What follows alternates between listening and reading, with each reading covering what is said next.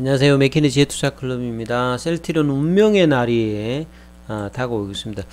뭐 지난주부터 뭐 계속 말씀을 드렸는데요. 자, 내일 아, 3월 11일 자 정선이에서 아, 셀트리온 관련되는 분식회계 논란의 안건이 이제 상장이 되어서 어떻게 될까 어, 지난주에도 계속 말씀드렸습니다만 대선을 앞두고 이 부분을 좀 다루기가 좀 애매모호했는지 자 대선이 끝나고 난 다음에 자 이 부분들을 향후에 좀 장기적인 어떤 흐름에서 긍정적인 이야기가 나올까? 가장 핵심은 그거죠. 고위성 관련되는 부분들이 이제 지난주 목요일 날 나오면서 급등했던 흐름들을 이어가는 어떤 양봉에서 이제 지속할 수 있느냐 이게 가장 중요하고 이 고위성 관련되는 부분들이 해소가 된다라고 하면 제재 관련되는 어떤 부분들이 뭐 경미하다면 그간에 지속되었던 분식 논란이 종료가 되면서 아, 이 부분들에 대해서 valuation 어떤 trap에서 좀 벗어날 수 있는 어떤 부분이 되니까 자 이 부분에 대해서 어떤 식으로 이제 기사화가 되는지 이 부분들을 내일 좀 지켜보셔야 될 것 같습니다. 아, 이제 좀, 그, 이 부분도 상당히 좀 중요할 것 같아요. 이 기사를 보시면 2020년도, 2025년, 이 글로벌 top 10의 생산력을 갖춘다. 이 바이오 의약품 같은 경우에는 이제, 아, 화학 합성 이제 의약품 관련된 부분보다 지금 이제, 어, 비중이라든지 규모가 계속 좀 늘어나기 때문에 결국은 마치 이제 반도체 사업에서 capa가 중요하듯이 바이오 의약품 같은 경우에는 이 capa가 상당히 좀 중요합니다. 그래서 동물세포 기반의 생산 용량 상위 10대 기업 예상 순입니다. 2025년. 자, 로슈 같은 경우가 1등인데 로슈는 자체 생산 물량이 좀 많은 부분이고요. CMO를 좀 중심으로 한 데가 이제 그 삼성바이오로직스하고 스위스의 론자죠. 그래서 2등, 3등에 아, 삼성 바이오로직스가 있고요. 셀티리온 같은 경우에는 2025년 8위로 지금 이제 등극한다. 요런 어떤 내용입니다. 그 셀티리온에도 보면 이제 매출의 단에 보면 CMO 사업이 있습니다. 그래서 기존에 이제 흐름에서 이제 앞서서 좀 굉장히 열심히 좀 노력하고 있는 중국의 우시 바이오로직스가 아, 4등. 그 다음에 독일의 이제 베링거 잉글햄, 잉글하임이라든지, 그 다음에 이제 미국의 존슨 앤 존슨의 암젠이라든지 바이오젠 이런 회사들도 있고 이제 셀트리온 한 8위 정도로 좀 예상된다는 이야기인데요. 그러면 이제 장기적인 부분에서 이제 어 자기 어떤 물량이든지 아니면 이제 CMO 관련되는 역량을 갖추는 것은 경쟁력이 상당히 좀 중요한 부분이라 보셔야 되겠죠. 그 현재 지금 등에 있는 아, 자체 생산업체 셀티리온이 8위의 어떤 역량으로 올라왔을 것이다. 셀티리온도 이제 3공장, 4공, 4공장에 따라서 이제 이 부분들의 제품 믹스를 어떻게 하느냐, 그 다음에 본래 이제 CMO를 하다가 이제 바이오시밀러로 갔기 때문에 이 부분들의 어떤 배치를 어떻게 하느냐에 따라서 이제 기업 가치도 상당히 좀 다를 수 있을 거다 이래 봐야 됩니다. 그래서 지금 이제 전 세계적으로 미국하고 유럽에서 임상 단계에 있는 1600개 정도의 파이프라인 85%가 동물세포 배양원에서 생산한다. 그러면 여기에 대한 어떤 니즈가 상당히 있는 부분이겠죠. 그래서 지금 이제 뭐 뇌질환 관련되는 부분이라든지 아, 이제 뭐 항체 치료제 중에서 이제 면역관문 억제제 같이 이런 부분들이 치료제가 승인되고 보험이 적용되면 이 관련 시장이 좀 더 커진다 이래 봐야 될 것 같고요. 이 배양 능력이 2018년 기준으로 440만 리터인데 자체 생산이 한70% 향후 이제 이 부분들이 어, CMO, CDMO 그러니까 CMO는 이제 그 전임상에서 임상 단계 어, 그 다음에 임상 후 요 부분을 하는 거고 CDO는 전임상 단계까지 이제 개발해서 이제 같이 포함하는 부분을 보시면 되겠죠. 그래서 자체 생산 기업인 어, 로슈가 1이고요. 그 CMO를 하는 삼바랑 이제 론자가 2, 3이다. 그래서 향후에는 자체 생산 비중이 좀 낮아지고 이런 전 그 CDMO 이런 어떤 부분의 점유율이 올라가거든요. 그래서 이 부분에서 셀트리온이 어, top10 안에 들어간다는 부분들은 장기적인 어떤 생산 능력은 상당히 뭐 중요한 어떤 부분에서 어, 위치를 차지한다 이렇게 보실 수 있을 것 같습니다. 그리고 이제 셀트리온의 어떤 연구 개발 능력은 이미 잘 알려져 있는 바인데요.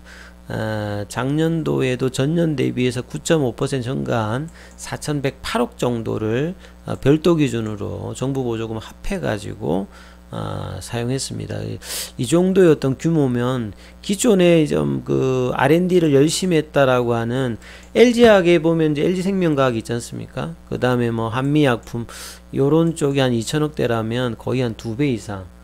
어, 뭐 글로벌 제약사 같은 경우에는 그 R&D 매출 자체가 전체 매출에서 5% 10% 정도 하잖아요. 그러면 뭐 셀트리온 같은 경우에는 한 2조대 부분이라고 하면 거의 어, 4천억 정도면 20%니까 어마어마하게 사실 좀 투입을 한다라고 봐야 되겠죠. 그래서 연구 인력도 늘어났기 때문에 이런 부분들이 이제 그동안의 어떤 성장의 모습을 했다면 향후에도 이런 부분들로 어 이제 뭐 바이오 신약이라든지 지금 진행하고 있는 시밀러 관련되는 부분들도 계속적으로 뭐 실패 없이 진행을 하고 있다. 이런 어떤 운동력이 되고 있다. 이렇게 보시면 될 것 같습니다.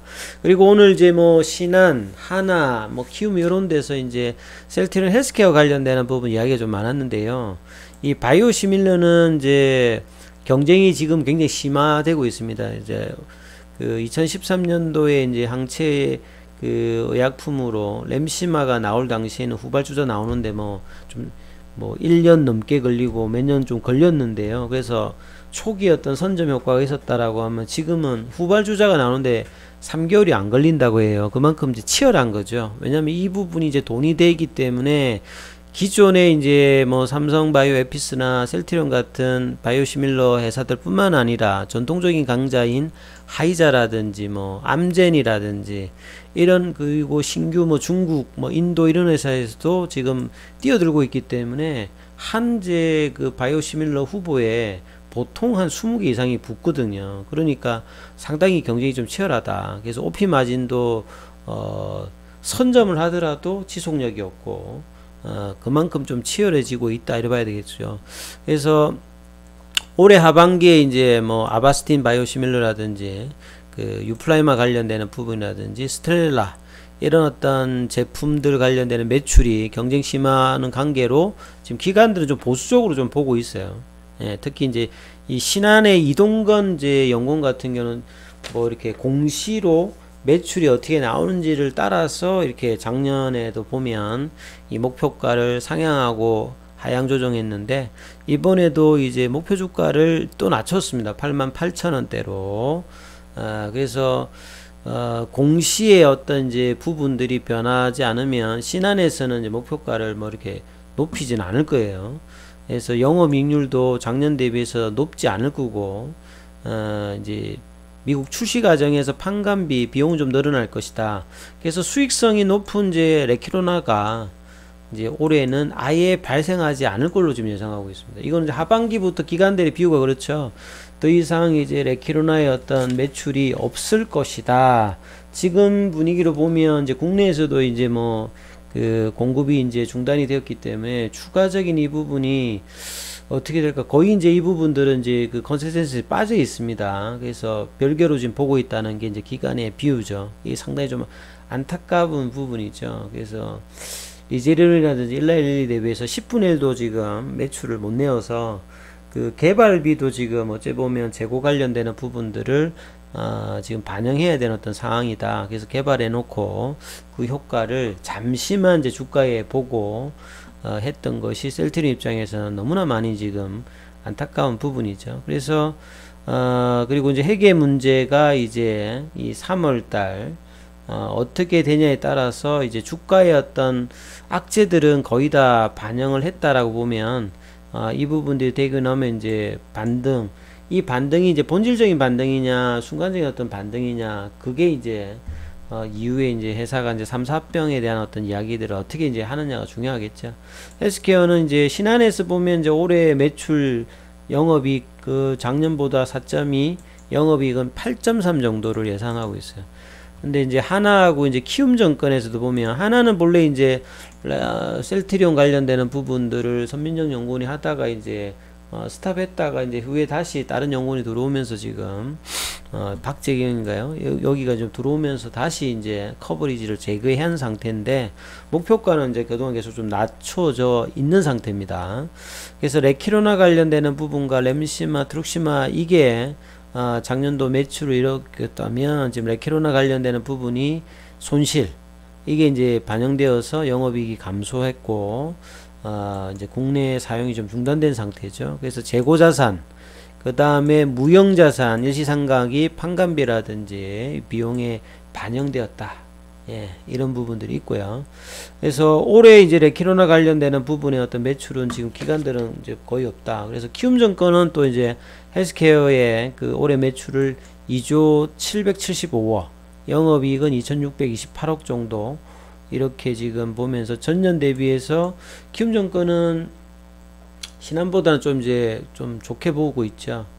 그래서 지금 램시마 SC하고 유플라이마 이 향후에 나오는 이제 스텔라 바이오시밀러 이런 부분들이 어떤 식으로 좀 진행될지가 상당히 중요하기 때문에 이제 본 게임이라고 봐야 됩니다. 레키로나의 어떤 그 모멘텀이 사라지고 이제 본질적인 어떤 셀트리온의 어떤 경쟁력, 기술 개발과 그 다음에 이제 아, 유통에서 어느 정도의 어떤 효과가 있는지가 중요한데요. 그래서 마지막에 이제 이런 이야기 있죠. 허염이 이제 키움정권 연구원이 인플렉트라와 트룩시마와 다르게 이제 미국 시장이 저는 이제 향후에 이제 셀트리온이 상당히 좀 중요하답니다. 그 유럽보다는 미국의 어떤 이제 장막들이 어느 정도 어, 걷어지고 있기 때문에 아, 미국에서 이제 직접 판매 관련되는 부분에서 어, 성과가 나온다라고 하면 이 부분들이 상당히 좀 좋을 수 있다. 그래서 기존의 지금 인플렉트라라든지 뭐 진단키트 관련되는 부분들도 상당히 좀 우호적인데요. 이 부분들을 발판으로 미국에서 어떤 성공 신화를 이어간다면 그게 이제 셀트리온의 어떤 부활이 되지 않을까 이렇게 이제 장기적으로 좀 봅니다.